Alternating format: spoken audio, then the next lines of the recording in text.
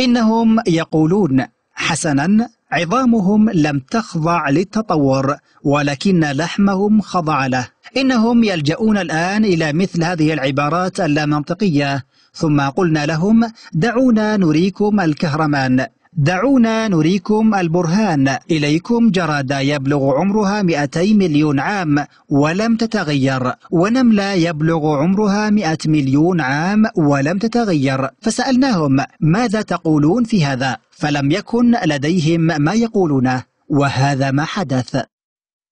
يبين الكهرمان أن النحل ظل كما هو تماما بدون تغيير بدءا من سلال حبوب اللقاح مرورا بحبوب اللقاح لها حتى شعيراتها. بالتأكيد يمكن مشاهدة النحلة حتى أدق تفاصيلها حتى الشعيرات الصغيرة للنحلة وكل شيء آخر. حتى أن الكهرمان قدم معلومات متعلقة بالحمض النووي لبعض الأنواع المعينة من الزهور. بالتأكيد فحتى الحمض النووي محفوظ. كما يوحي الاسم هي مجرد نظرية. وهي نظرية غير مثبتة بشكل كامل. لا يتعلق الأمر بأن الداروينية ليست مثبتة فلا يوجد شيء ليثبت عنها في المقام الأول بل ليس الأمر محلا للجدال. إنهم يقولون كل شيء جاء إلى الوجود بصدفة. إنه أسوأ تفسير ممكن. كيف جاء البشر إلى الوجود؟ يقولون بالصدفة كيف جاءت النباتات إلى الوجود؟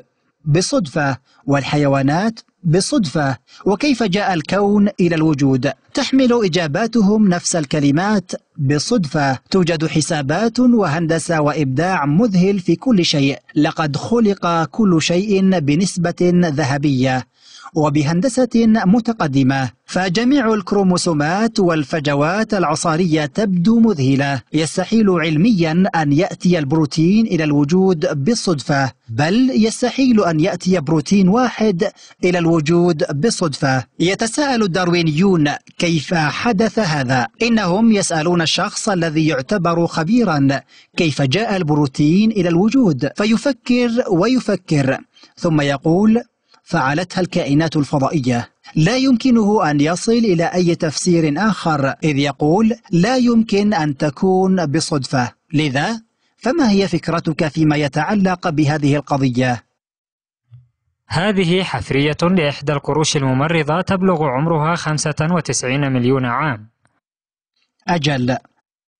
إنها تشبه تماما نظيرتها المعاصرة التي يبلغ عمرها 95 مليون عام.